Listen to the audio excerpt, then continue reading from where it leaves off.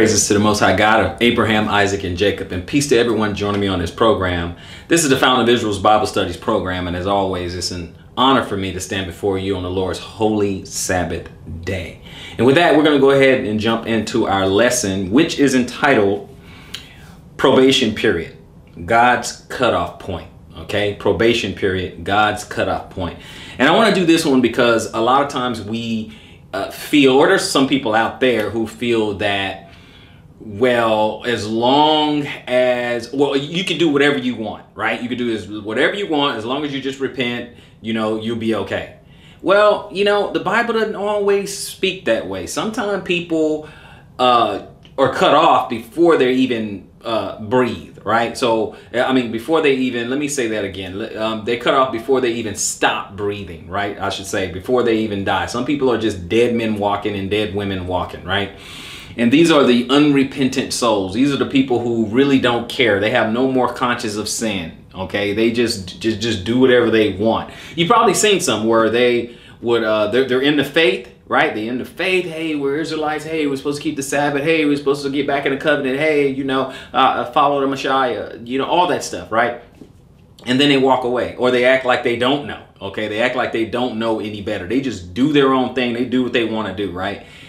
And a lot of times, hey, the Most High has given up on people. He really does. I mean, let's not get caught up and get confused. Oh, His mercy endure forever and all that. No, there are times where He will cut you off, meaning He already, He's done with you. He's no, you're not going to change your mind. You're not going to do anything different. You're still going to just do what you want to do.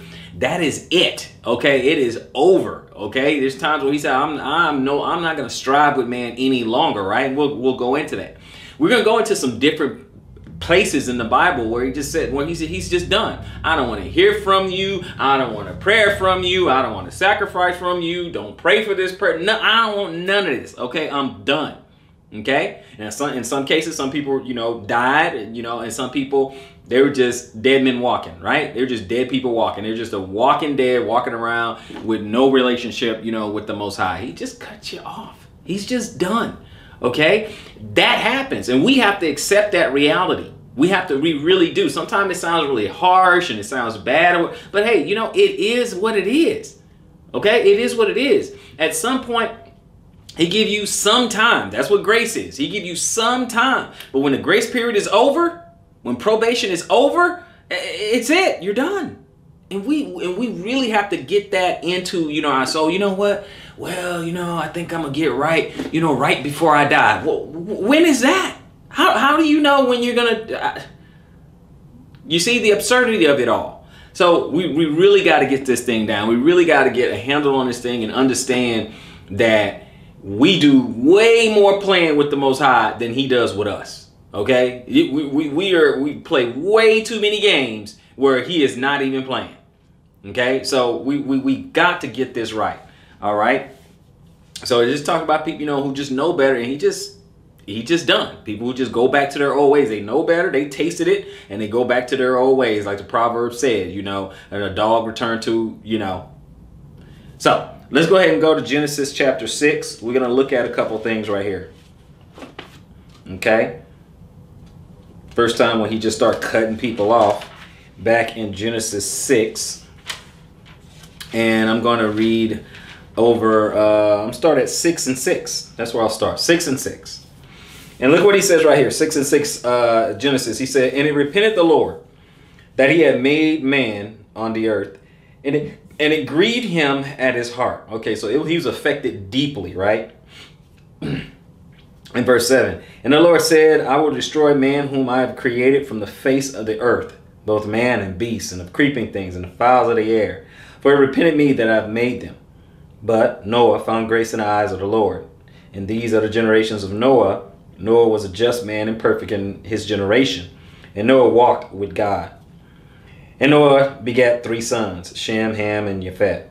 The earth was corrupt before the God, and the earth was filled with violence.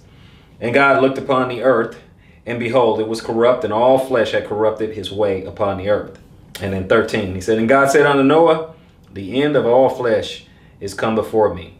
For the earth is filled with violence through them, and behold, I will destroy them with the earth. Right? So let's just go go back where he started giving just a probation period, right? Let's just go back to that. He just gave a probation period and say, look, I'm done. Okay, this is all this is all it's gonna be. Go back to uh, verse 3, Genesis 6, verse 3, and it says, And the Lord said, My spirit shall not always strive with man, for that he also is flesh yet his days shall be a hundred and twenty years, right? So we know right there, you know, say hey, it's just gonna be 120 years. Now I know we attribute it, you know, to age and all that. Say, hey, we're just gonna, you know, live like 120 years and stuff like that, right?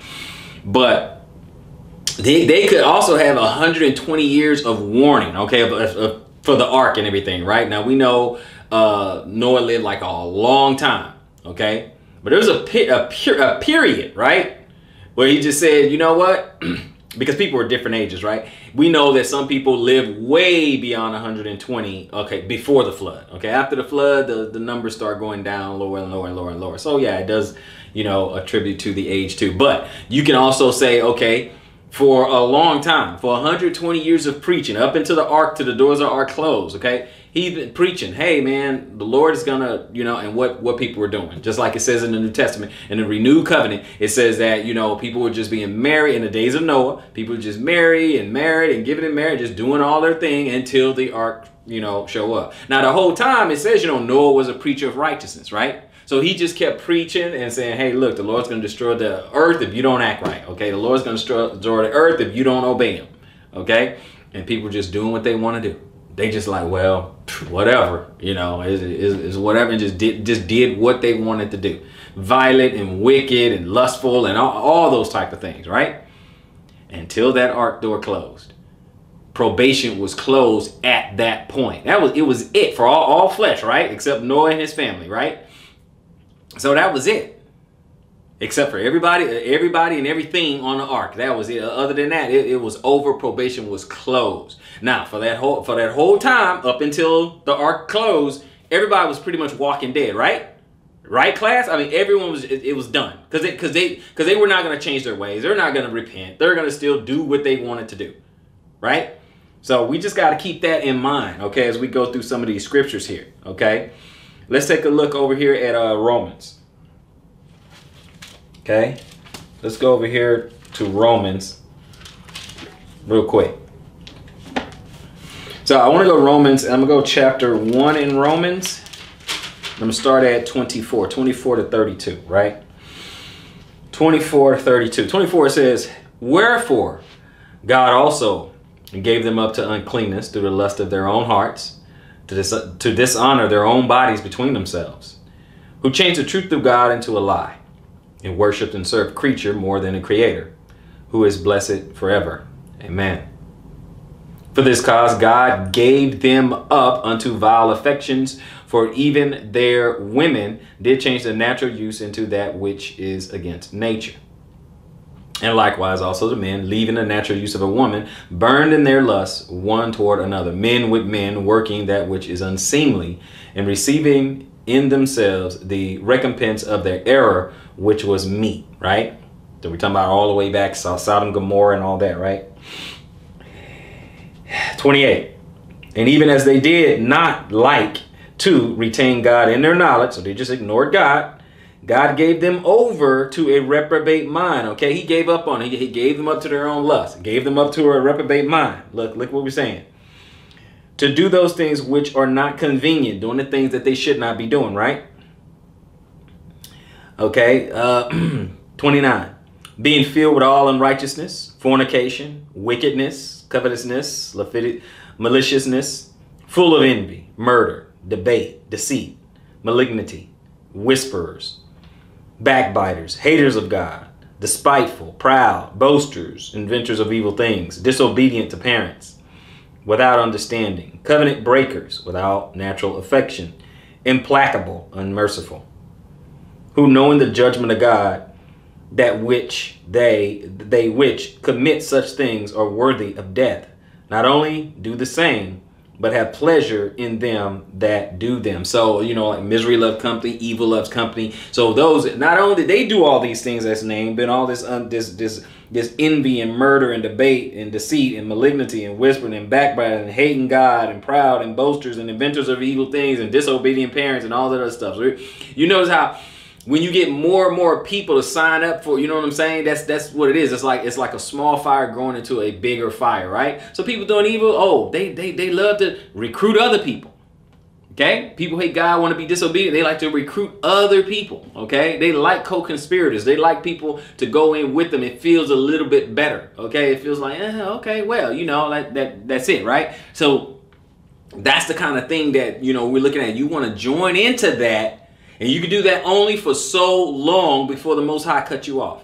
You can do that only for so long and people want company. They want they want to do that. They want company when they're doing evil like this.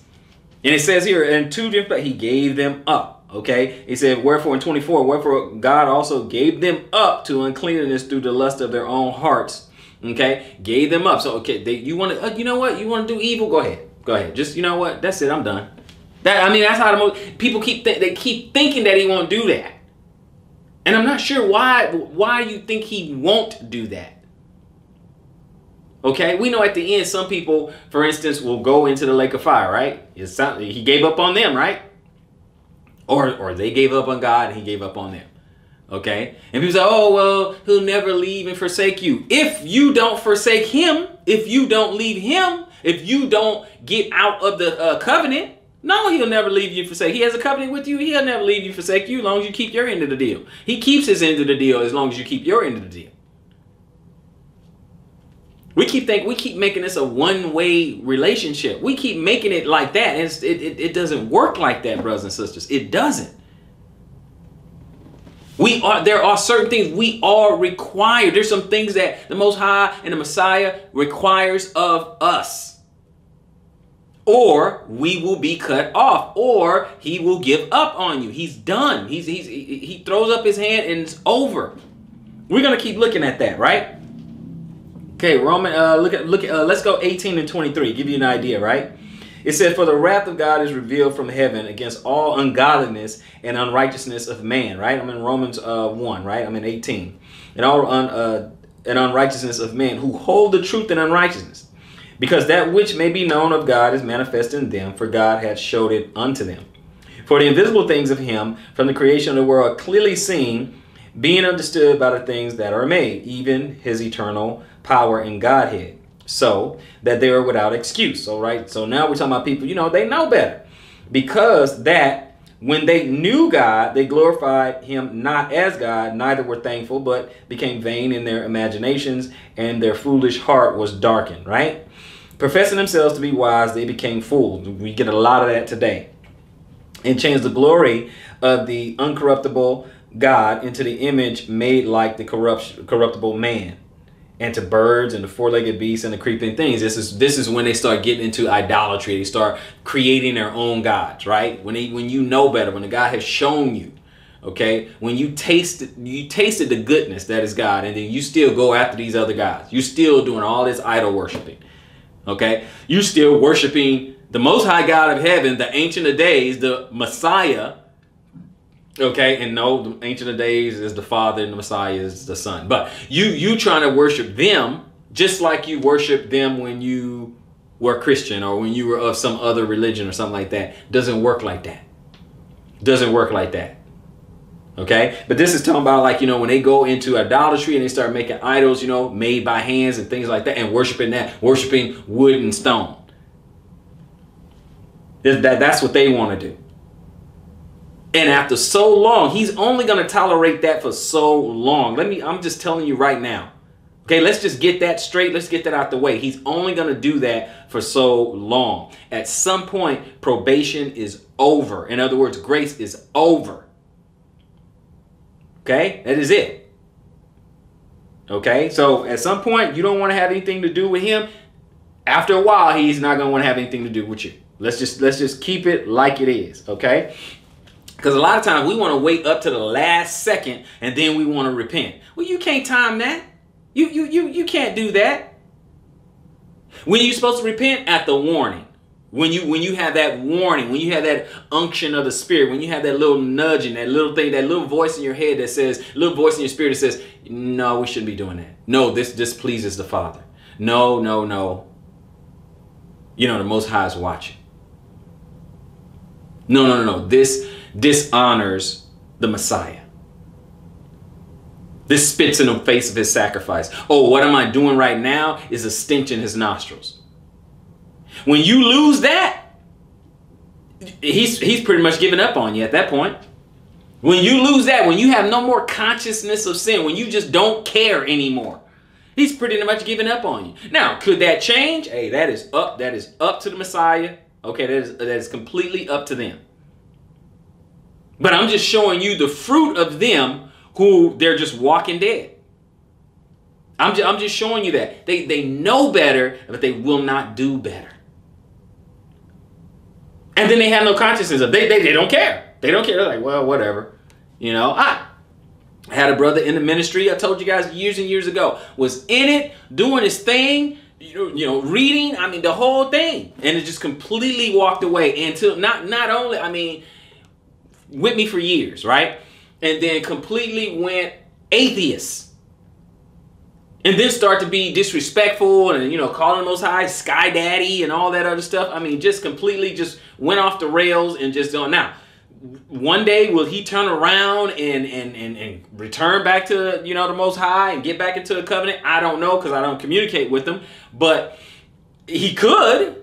He could. But as it stands right now, mocking him and insulting. Oh, there ain't no sky daddies coming to you. There's nobody, this and that. You are God. You are the universe. The universe is in you and all that other stuff. The stuff that he started talking about uh, years ago and all that. If he's still on that type of time, then yeah, he's cut off. He's walking dead. He's, he, he's cut off. He's done with it. Nobody's coming back to save you and all these little things that, you know, little jabs that he was taking and stuff like that you know, I, I just stopped dealing with. It. I'm like, all right, well, you know, it, it is what it is. You know, you you know the scriptures because we, like I said, we were doing it together for years. So there's no sense of me reciting scriptures for you when we studied back and forth all the time. You read for me for a while. I mean, you know, so that that's what I'm talking about. So people like that, I'm not condemning him. I'm just saying if he still has that same spirit, then the Most High's done with him already. We got we got to keep that in mind. All right, so let's let's let's just keep going. We're going to look at a couple of uh, uh, uh, couple of scriptures that suggest, hey, the Lord is pretty much done. Okay, let's go to Hosea. And I'm just going to read one verse, 9 and 17. Let's go to Hosea real quick, 9 and 17. Okay, 9. 17 says, My God will cast them away because they did not hearken unto him, and they shall be wanderers among the nations. Okay, cast them away one. Now, they're, they're still alive. He cast them away. He ain't had nothing to do with him. You read the whole thing. He, he have, he's like, okay, I'm done. You're just going to be wandering out there. You won't have a guide. You won't have me to guide you. You won't have me to help you. I'm, I'm pretty much done with you. Okay, I, I mean that's just a just a little example, right? Then if you're just prideful and you don't want to, you know, you really don't want to listen. Let's go on over to Deuteronomy.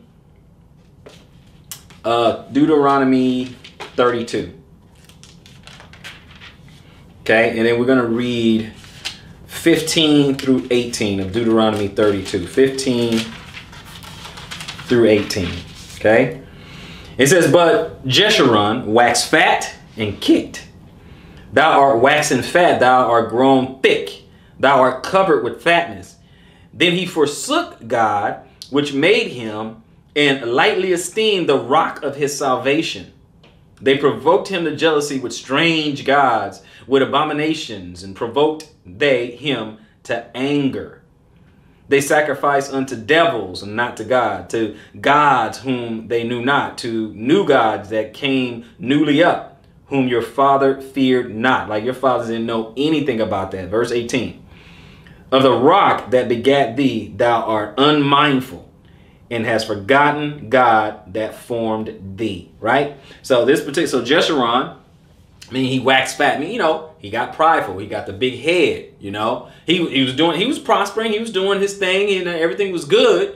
And when things get good, you forgot about God. Nah, it wasn't this God. Oh, it's, it's, it's this other God. The God you want to fashion in your own mind. The God you want to fashion with your own hands.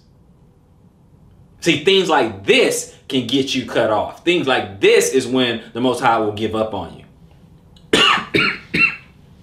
okay? This is the kind of things that we have to look out for. Being prideful.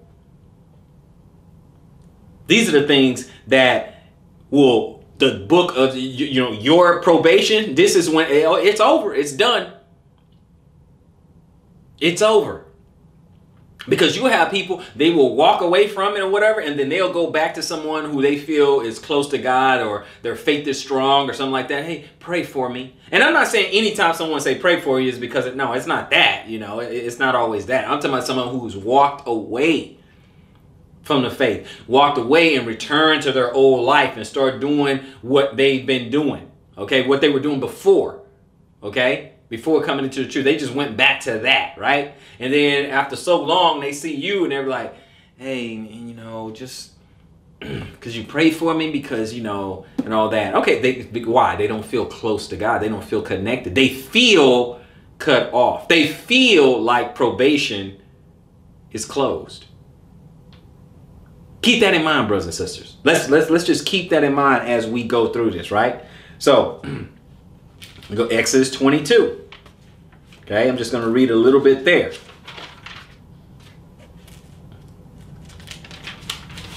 Exodus chapter 22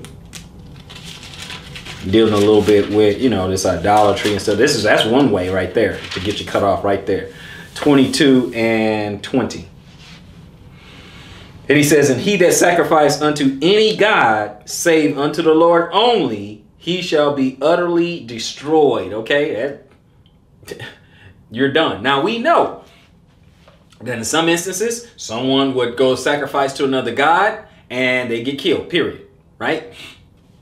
And then some of them, the guy cuts you off. Now they're still walking around and breathing, but the Lord don't want have nothing to do with them. he's done with them. I, I don't want your sacrifices. I don't want your prayers. I don't want. I don't want. I don't want anything from you. Okay, cut off. Walking Dead. Probation closed. See, we're talking about when God has reached his cutoff point, when the Most High Yah has reached his cutoff point, when he is done with you. We have to be careful about that. We have to be serious and sober minded about something like that. We have to be serious and sober minded about that. Okay? So let's go ahead. Let's let's continue. Okay? Let's continue. I want to go a couple of places give you an idea. A couple of places over in, let's start in Isaiah and then we'll go to uh, Jeremiah, right? So let's go to Isaiah first. We're going to go to Isaiah 47.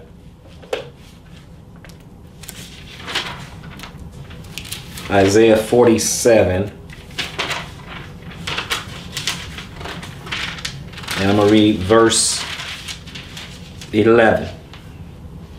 Okay, so when he gives when he gives up on you, verse 11 says, "Therefore shall evil come upon thee; thou shalt not know from whence it riseth, and mischief shall fall upon thee; thou shalt not be able to put it off, and desolation shall come upon thee suddenly, which thou shalt not know." Okay, so he's just saying, you know, when all these crazy, weird things are starting to happen when these things that seems inexplicable to you, you're like, man, what is going on? You know, you you, you need to take inventory at that point.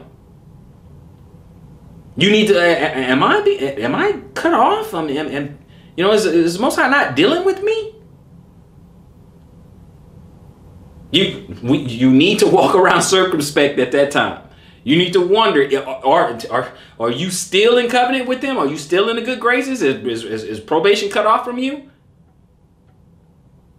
We need to keep that in mind all the time. Okay? Even even what? Even Paul said, you know, I got to keep myself in subjection unless I be a cast off. And it doesn't mean that you've physically died. You could just be walking dead.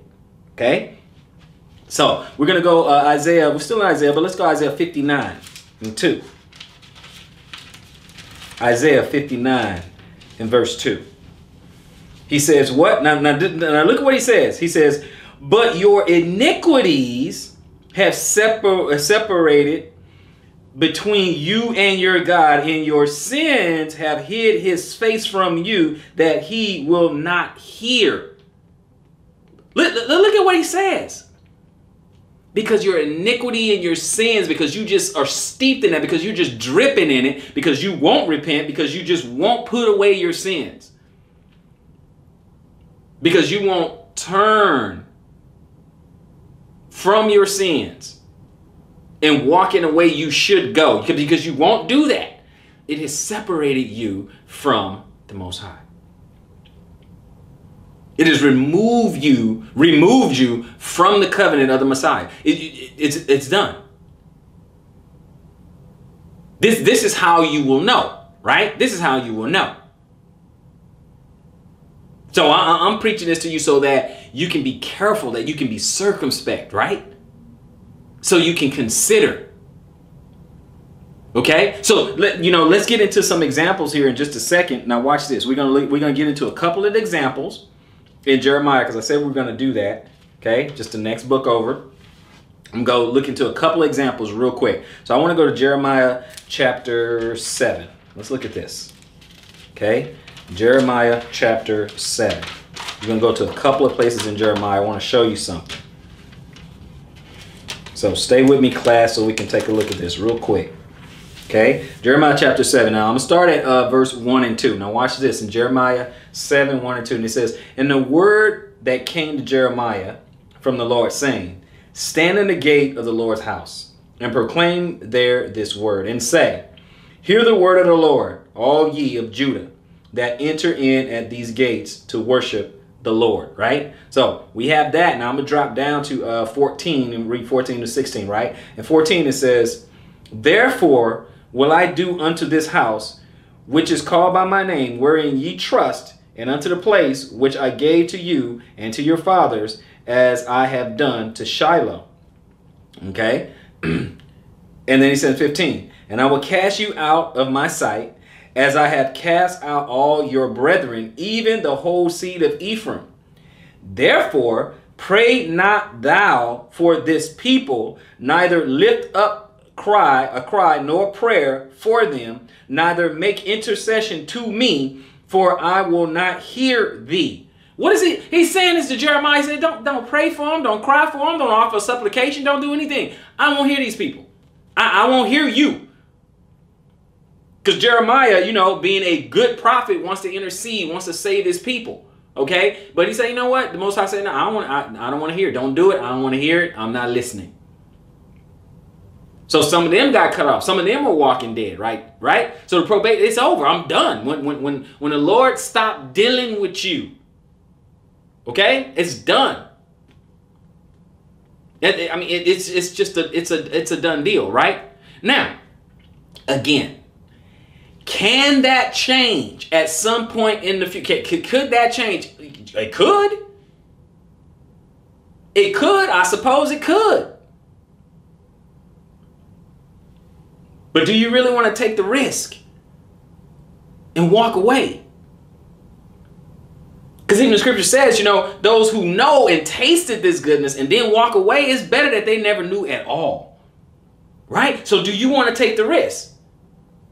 Because I, I know, I know the Messiah is able. I know that. I, I know. But do you want to take the risk?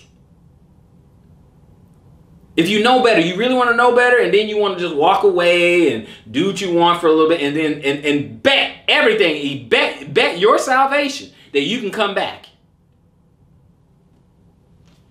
I I don't know. If you you want to risk it, that's on you. I would advise you not to risk it. Okay, that's on you. But look, don't don't even pray for them. Don't just leave them. Don't even pray. I don't want to hear it. Don't even pray for them. Okay, but we're not done. We're gonna read a little bit more. Okay, let's go to chapter eleven. Watch this. Jeremiah. We're gonna go to eleven. Go to 11, 11. We're going to read 11, 11 through 14, right? 11, 11. It says, Therefore, thus says the Lord, Behold, I will bring evil upon them, which they shall not be able to escape and though they shall cry unto me, I will not hearken unto them, and I will not listen to them. They're going to cry to, and I won't listen. And then shall the cities of Judah and the inhabitants of Jerusalem go and cry unto the gods unto whom they offer incense, but they shall not save them at all in the time of their trouble. I'm gonna have you cry. You you you know you're gonna cry to these other gods. You're gonna cry to these fake gods, but they're not gonna be able to save you. They're not going to be able to do anything to you. First of all, you're going to cry to me. I'm not going to hear you. Then you're going to cry to your dumb idols, and they're not going to hear you. They're not going to be able to do anything for you, right? And then 13 say, For according to the number of thy cities were thy gods. So you had a bunch of these false gods, right?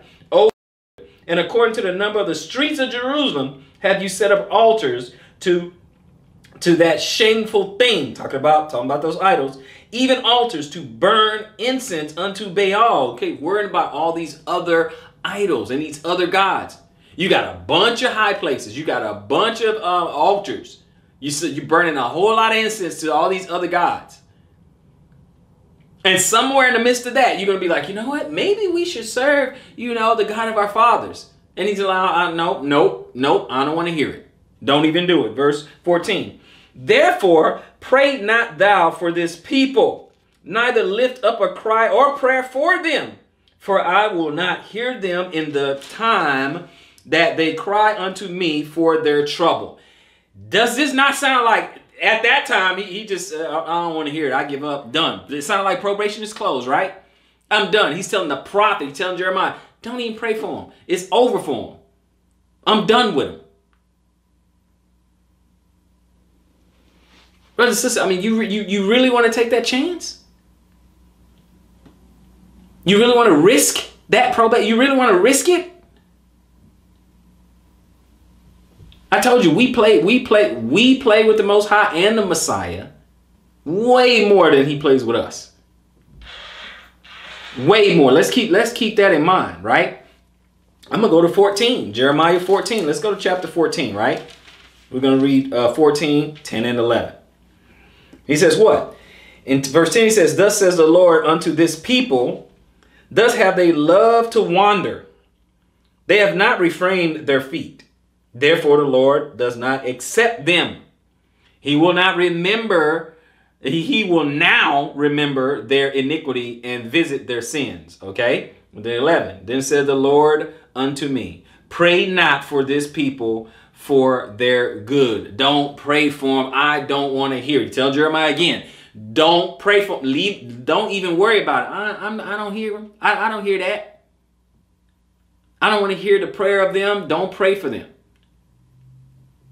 And the prophets, plenty of time, what they want to intercede. Okay, it's just like when Moses, he wanted to step in and like kill me, God, instead of killing them. Want to intercede, and God's like, nope, don't want to do it. I'm not going to kill you for them right? Even Paul, he was like, um, I would that I would, you know, you know, sacrifice himself for the, you know, for the people. He's like I might, you know, he he was he was close to pulling what you know what Moses was trying to do, and you know the Lord's like, no, no, no, Is that it's just it, it, it's over. You you remember Korah and his troop? He was done playing. They, they want to go there and test Moses and all that, and they didn't even know that the that, that the earth was going to swallow them up. They didn't know probation was closed. They didn't know that upsetting, you know, touch not God's anointing, right? That challenging Moses at every step and trying to recruit people under you and all that and get people to follow you and all that. They didn't know how close they were to death. They did not know. I believe had had they known, it's just my opinion, but I believe had they known, they would have humbled themselves. I'm them like, you know what? Yeah, um, yeah, I'm, I'm, I'm cool. I'm, you know, I'm, I do not want, you know, get swallowed. I don't want the earth to open up, swallow me and my family and all the troops and everything. I don't know, you know. They didn't know exactly when probation was going to get cut off. None of us do. Like I said, sometimes you saw people in the, uh, in, in, a in Bible, they got judgment right away. Sometimes you get judgment later, but you're just a walking dead. They say, you know what, it's not your time, but I'm done with you.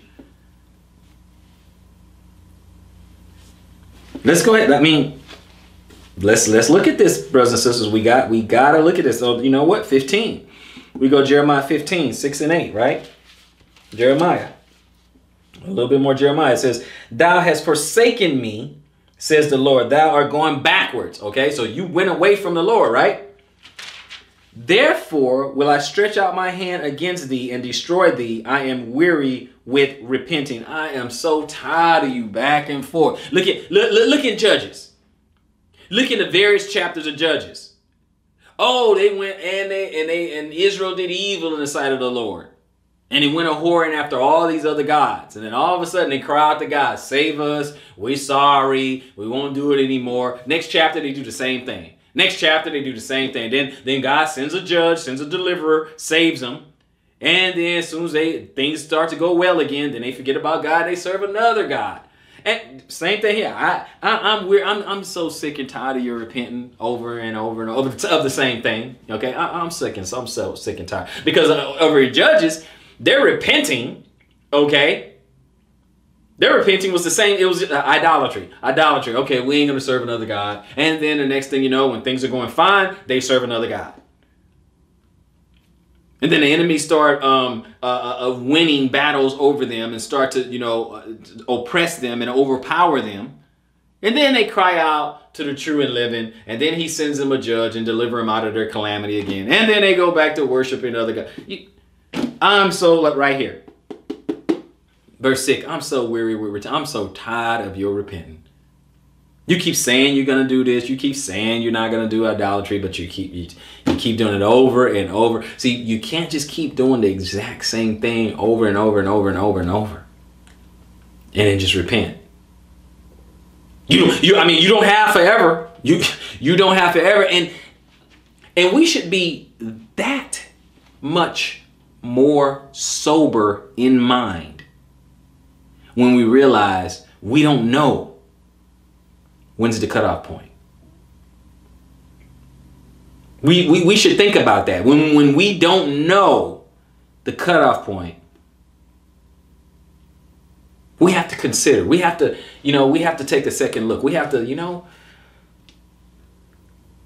I better quit tempting fate. And you know what I mean by that. I bet I, I probably should stop playing games. See, the one that overcomes is the same one that'll be saved. You have to overcome and endure until the end. You have to, this is a fight. This is a fight, brothers and sisters. I mean, let's let, let, let's keep going. Let's keep going. Okay, we did a whole lot of, you know, Jeremiah. Look at Proverbs six. Let's go back here. Go back a couple of books. Proverbs uh, chapter 6. We're going to read um, 14. 14 and 15 of Proverbs, which says, Forwardness, uh, let's see, forwardness is in, a, is in his heart. He devises mischief continually. He soweth discord. Therefore shall his calamity come suddenly, and suddenly shall he be broken without remedy. Now, this is a person who is already uh, uh, mischievous continually, always just living what he wants to do and what he want to do, just living crazy, right? Just, just, just, just, just wilding out, right? And then suddenly, he's gonna meet his end. He don't know when it's coming, but he, he'll meet his end, right? Did somebody just do what they want to do? You, you never know when you're going to get cut off. We're going to continue. Proverbs 24. Proverbs 24.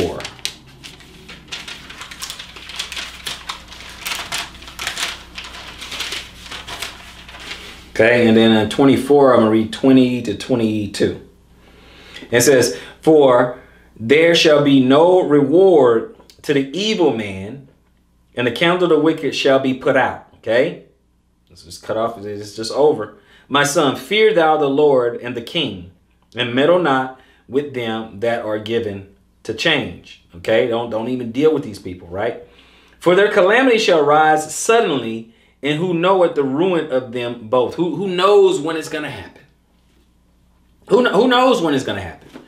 Don't worry about, you know, people, they, you know, they, they know better, right? And they don't want to do right. And, you know, just, hey, let, at a distance. You say, you know what? Uh, I'm not gonna get caught up in what they're doing, okay? Because I, I don't know. I don't know what I don't know what the Most High have planned for them. You know they don't want to. You know they they don't want to walk. They don't want to be obedient. They don't want to walk in righteousness. Hey, then I'm just gonna keep my distance. And, I, and that's really the attitude you should have because you just never know and you don't want to get caught up in their stuff because we can you can get caught up in at stuff right you can get caught up in it Okay, somebody else's probation closes and then you can get caught up in it, okay? Just like uh, Korah, right? And all the people that followed them and then in their families and all that, boom, gone, right? Then you have all those uh, co conspirators who were trying to conspire against Daniel, get him tossed in the line, did, right? And then he's okay, he comes out all right. And then all them, all those, all those wise people, they get tossed in the lines, and then guess what? They grabbed up their family they're, they're, they're, the wives and the children. Grab them up, toss them into. and the wives and children didn't do anything, but they got caught up in that. You see what I'm saying? So sometimes you got to keep your distance from people who just don't, they don't want to get right. They, they don't want to. You just keep your distance. I'm, I'm talking about at work. I'm not talking about that. I'm just talking about, you know, you work because you're only there for X amount of time, right? I'm there for six, seven, eight while, you know, you don't have a fellowship with them. You just, I'm working, I'm punching in, I'm punching out, it's over. Okay, that's it, right? That's it. That, that's different, okay? You got to keep your difference, distance in that instance. But I'm talking about in fellowship, hanging out, your own free time, right? So I'm, I'm, I'm just saying, I'm just saying, you can do what you want, but I'm just saying, right? So, uh, Proverbs 29 and 1, okay? I'm going to finish up in Proverbs. Let's go 29 and 1. And it says, He that being often reproved harden his necks, they don't want to listen, shall suddenly be destroyed, and that without remedy. Nothing you can do about it. He keeps on getting proved, keeps trying to get corrected, keeps trying to, you know, keeps getting tested, he's, and he's, it's not working. He gets stiff neck. yeah, no, I don't want to hear that. You don't want to hear what you have to say. Don't want to hear what this says the Lord. Don't want to hear, hey, things that they know that which is good. They don't want to hear it. Shall suddenly be destroyed and without remedy. It's it's over and that's it. It's done. Right? But let's get into some examples, right? Let's get into some examples. We're gonna go ahead and get into uh First Samuel, right? Let's let's do that. That way we get some examples. We look at uh, King Saul and he didn't want to, you know, he wanted to do what he wants to do, right? And we and we all know the result of that. But let's let's examine it though. First Samuel 13. We're gonna at least examine it though. Let's go back to the scriptures and we're gonna examine it. Okay, First Samuel 13. I'm gonna pick it up at verse eight.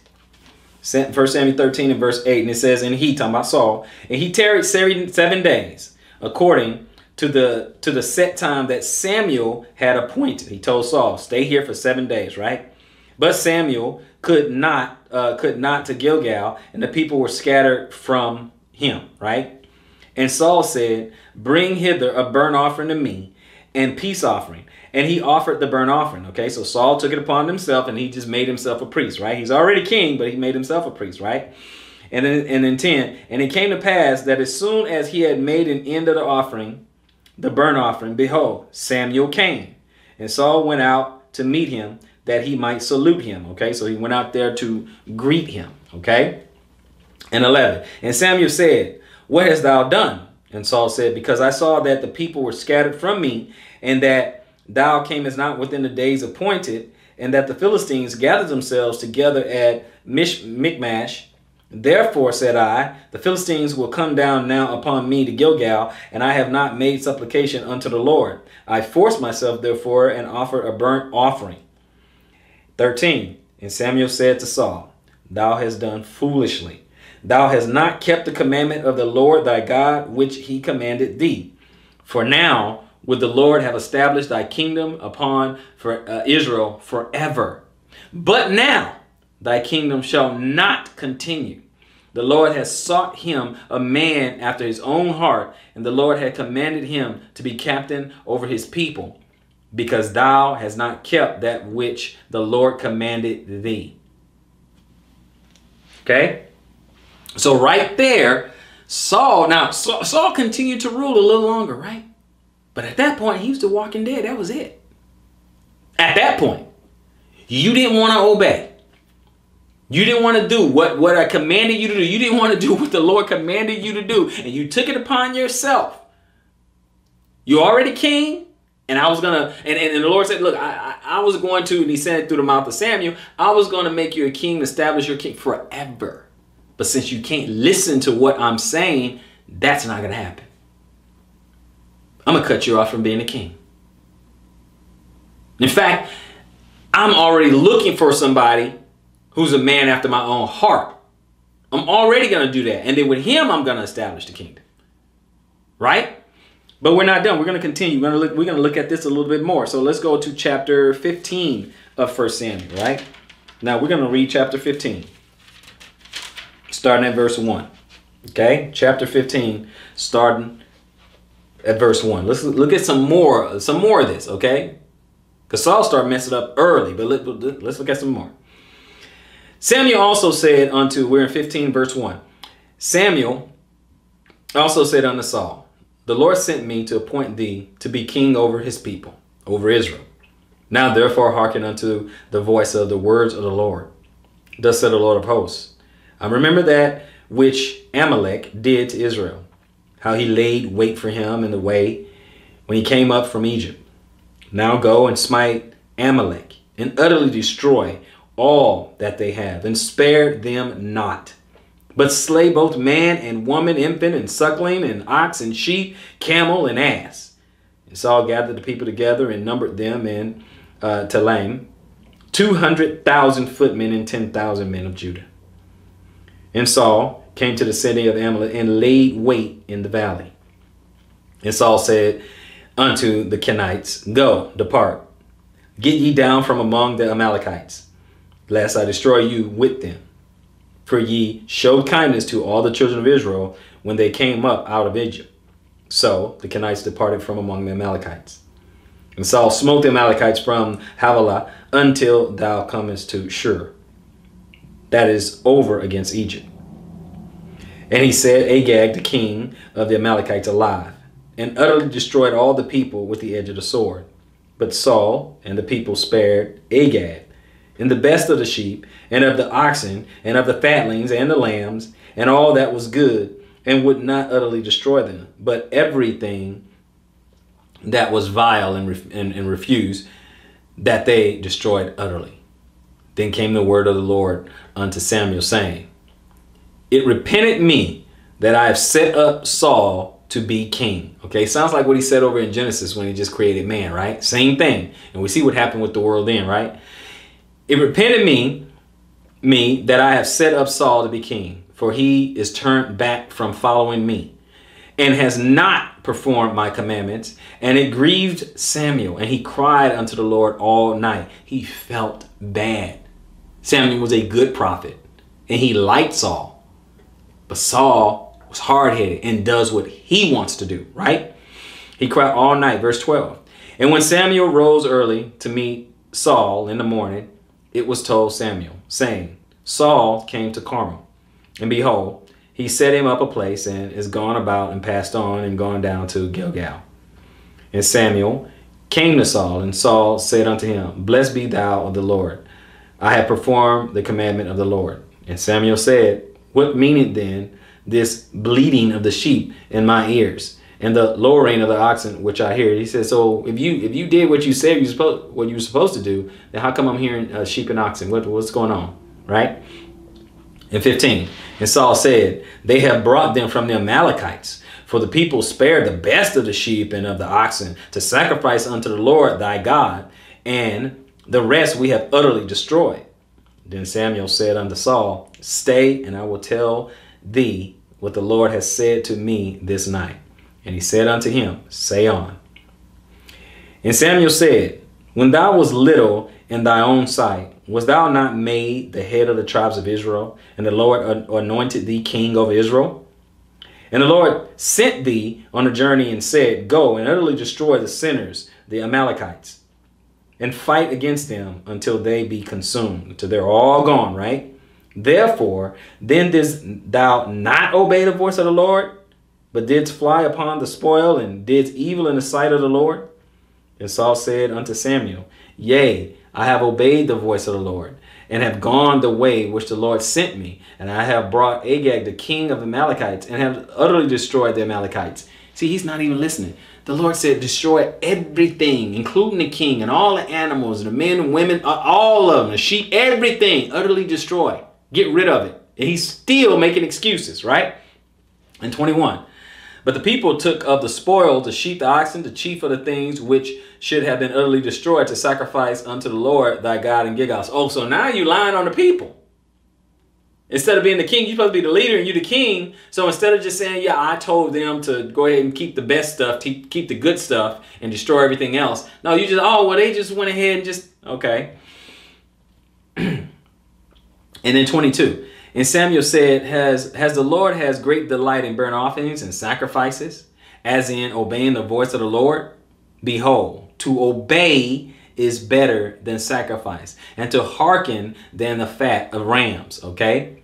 For rebellion is as the sin of witchcraft, and stubbornness is an iniquity and idolatry, because thou hast rejected the word of the Lord. He has also rejected thee from being king. So the Most High can reject you.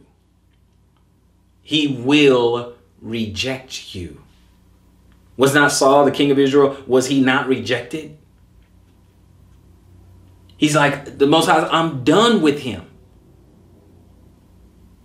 Now I reject you. Okay? Now, now it's over. Okay? Modern day, I unfriend you. It's over. Block. Right? I mean, come on, people. Let's let's, let's come on. I mean, this, this is what's going on here, right? Now, look at uh, 16 and 1, right? Now watch this. 16 and 1, right? This first Samuel 16 and 1. He says, And the Lord said unto Samuel, How long wilt thou mourn for Saul? Seeing I have rejected him from reigning over Israel. Fill thy horn with oil and go, and I will send thee to Jesse to Bethlehemite, for I have provided me a king among his sons. I'm done. How long are you? How long are you gonna cry for this dude? Uh, it's over. I'm done with him. How long are you going to do it? Probation over, brothers and sisters. Done with. Let's just, I mean, at some point, at some point, we're going to get this. At some point. Okay, let's look at a few more places before we close it out. We can go to Amos 5. few more places. You guys may have a couple of bonus scriptures, which is okay. So Amos 5. And I'm going to read 21 to 23. Amos 5, 21 to 23. he says, I hate, I despise your feasts. I will not smell in your solemn assemblies. Though ye offer me burnt offerings and your meat offerings, I will not accept them neither will I regard the peace offerings of your fat beasts. Take thou away from me the noise of thy songs, for I will not hear the melody of thy viols, right? I'm not, I, I don't want to hear it. I'm not even trying to hear any of that stuff y'all trying to do. When you cut off, that is it. There's going to be a time where he is not trying, he's not trying to hear you. Do you want, do you want to take that risk? Cause that that's what's going on here. It's like I'm done. I'm I'm done. I, I, I can't I can't with these people anymore, right? Now I'm not saying that's all of you know Israel right now. I'm not talking about that's you individually right now. I'm not saying that. I'm just saying that we all run the risk if we keep playing games. All I'm saying, we all run the risk of being cut off and if we keep playing games because we keep thinking we keep thinking that being cut off means okay when you die and you go face judgment sometimes you can be cut off and you are alive just King Saul was cut off, he was still alive. We know eventually he died, but uh, when the Lord stopped dealing with him, that's it. He just started going crazy. He started doing all kinds of things. We know later on he went to the Witch of Endor, okay? Let's just kid, and, we, and you know we're not. He know better. We're not supposed to be dealing with the dead. Don't be dealing with sorcerers and all the people speak. We're not supposed to do that. He went and did that too. You see what I'm saying? Now a lot of people they'd be like, well, you know, but but David, you know, he messed up. He did okay, yeah, David did a couple things, but David also repented. David also showed accountability. Okay, every, every, everyone has sinned. Everyone has filled, fall short, right? But David showed. Read the Psalms. David shows some accountability. He said, "You know what? My bad. I'm wrong. I sinned." Okay, he had to pay a price and there, but he sinned. And we look at a New, a New Testament, we look at the chapters in faith, okay, in Hebrews, we see David, David is in there. You don't see Saul, you see David, but you don't see Saul, do you? Let's just keep let's just keep it going. Okay? And he says, uh, uh, in 23, he says, Take thou away from me the noise of thy songs. Don't be singing these songs. Don't, all, oh Lord. No, no, stop it. I, I don't want to hear it. I'm done. This is what that's what it feels like to be cut off. That's what it feels like to be the walking dead when he he's not even trying to hear any of that stuff that we're trying to do, right? Right? Those that's the kind of thing that we're talking about. Let's go ahead. Uh, let's see here. I had Jeremiah 6 and 20. Okay, let me let me try that one. Jeremiah chapter 6.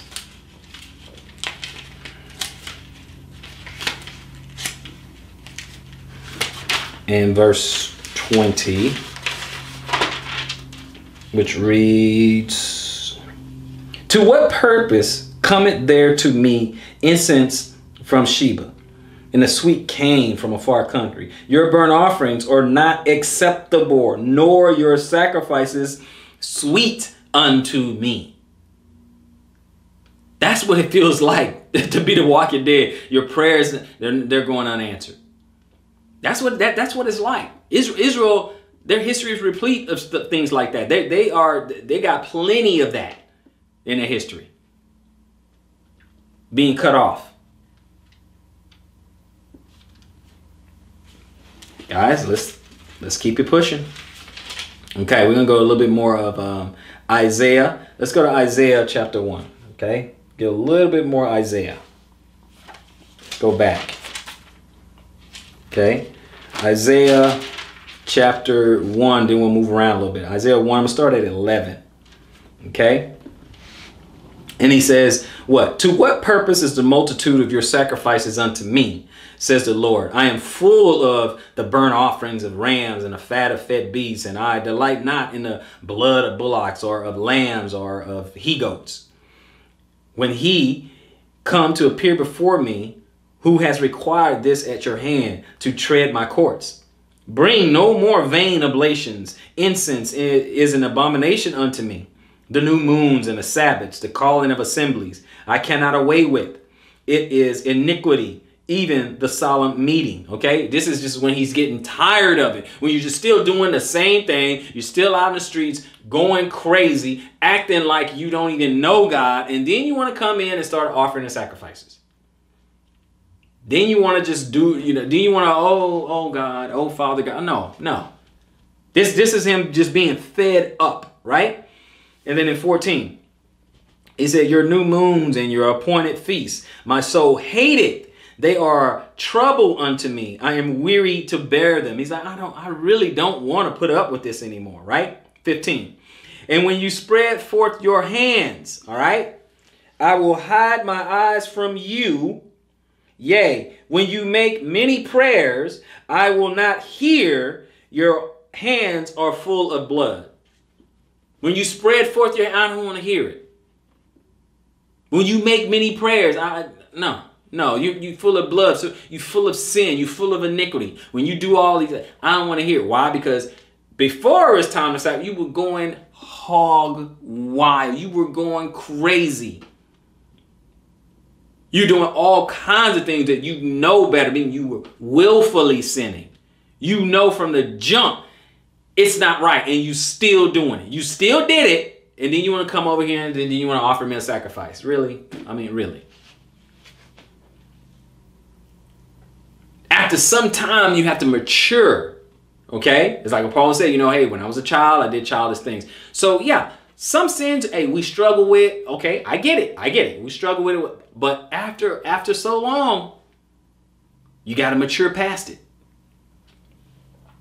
After so long, you have to mature past it. You keep on doing the same thing over and over and over and over. And this is the attitude you're going to get from the Most High. That this is the attitude you're going to get from. I don't want to hear it no more. I, I, I no no. He te- he'll tell the priest the prophet, don't even pray. Don't, don't pray for him. I'm, I do not want to hear it. I'm done. I cut him off. I'm done. I, I don't want to hear it. It's over. Right? So this, this, let's just, hey, let's keep looking. Isaiah, let's go to Isaiah 57. Okay? Let's go to chapter 57. Okay, and when I get to 57, I'm going to read 1 through 13. Now watch this. He said, The righteous perish, and no man layeth the heart. And merciful men are taken away, none considering that the righteous is taken away from the evil to come. He shall enter into peace, and they shall rest in their beds, each one walking in his uprightness. But draw near hither, ye sons of, of, of the sorceress, the seed of the adulterer and the whore. Against whom do you sport yourselves? Against whom ye a wide mouth? and draw out the tongue. Are ye not children of transgressions, a seed of falsehood? Inflaming yourselves with idols under every green tree, slaying the, ch the children in the valleys under the cliffs of the rocks. Among the smooth stones of the stream is thy portion. They, they are thy lot. Even to them hast thou poured a drink offering. Thou hast offered a meat offering. Should I receive comfort in these? Oft upon a lofty and high mountain hast thou set thy bed, even thither wentest thou up to offer a sacrifice. So you do what you want to do, and then you still offer a sacrifice. Behind the doors also, and the post has thou set up thy remembrance, for thou hast discovered thyself to another than me, and art gone up. Thou hast enlarged thy bed and made thee a covenant with them. Talking about idols, other other gods. Thou lovest their bed where thou sawest it. And thou wentest to the king with ointment, and didst increase thy perfumes, and did send thy messengers far off, and did debase thyself even unto hell. Okay? Thou art wearied in the greatness of thy way, yet saidst thou not. There is no hope. Thou hast found the life of thine hand. Therefore, thou was not grieved. And then and then verse 11 here. And of whom hast thou been afraid or feared that thou has lied and has not remembered me, nor laid it to thy heart? Have not I held my peace even of old and thou fearest me not? Like, have I not been patient? Have, I, I just, you know, I, I could, there's plenty of times I could have just killed you instantly. So have not I been patient with you? Have not not been long suffering with you? Right? 12. I will declare thy righteousness and thy works, for they shall not profit thee. Yeah, you did a little something, but it doesn't matter. Okay? 13. When thou criest, let thy com companies deliver thee. All those other idols, all those other gods, all those people who roll with you, let them deliver you. Okay? But the wind shall carry them all away. Vanity shall take them. But he that put his trust in me shall possess the land and shall inherit my holy mountain. Yeah, you're just doing what you want to do, and then you come back and try to offer me a sacrifice. Then you do what you want to do. Then you want to come back and offer me a, a burn offering, a peace offering, a drink offering. You do all that, and then you go back and do what you want to do. You so you live what you want, and then all of a sudden you want to come and offer me a sacrifice or a peace offering, some sort of offering or something. No. No, we no, we're not doing that. Um, and, and when you were doing all that, I, I held my peace. I, I didn't say anything. I held my peace. But in the end, it's not going to work for you.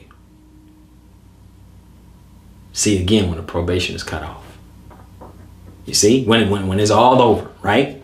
We're gonna we, are going to we are gonna finish up just get a little bit more here, and we'll finish up, right? So we're gonna read, I'm gonna read two more places and then I'm gonna go ahead and just end it there, right? So Proverbs, let's go to Proverbs, and you guys know this one, right? So we're gonna go Proverbs 28, one verse.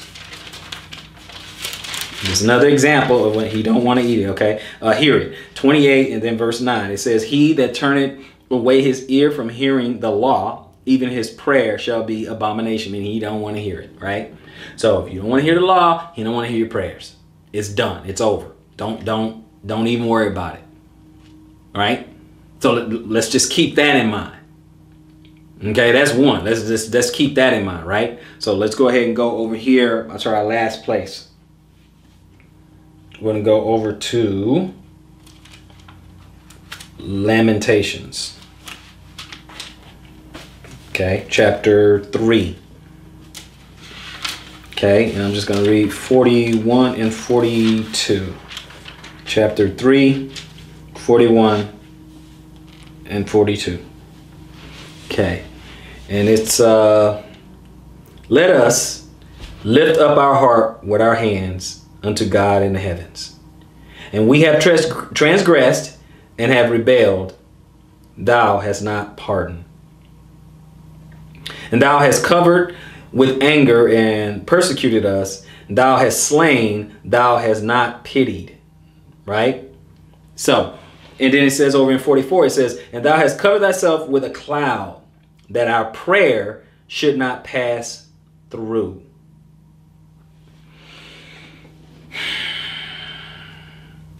That right there, brothers and sisters, that that's that can be pretty rough, right? When he's it's so, so thick a cloud that your prayers cannot even pass through. You know, we heard these expressions say, man, you know, I need somebody who can get a prayer through or whatever, because some prayers can be blocked. Right? If a man is just angry with his wife for no reason and stuff like that, his prayers are hindered, right? I don't want to hear it. You go make up with your wife before, I don't, I don't even want to hear it. Go make up with your wife first, right? So there's a lot of ways you can get you can get cut off or the, pro, the, probation is over and all that and all you know it's just we got to be serious about this now let's go to our last place right john 9 okay let's go to john chapter 9 this will be our last spot right here this is a very serious and weighty matter so 9 and verse 31 he says this Now we know that God heareth not sinners. But if any man be a worshiper of God and doeth his will, him he heareth. Let that sink in a little bit. Let's leave that on a, on a high note you worship Him, and you do His will, then He hears you. I hope someone has been edified by this lesson. So until next time, search the scriptures, improve all things. Shalom, Israel.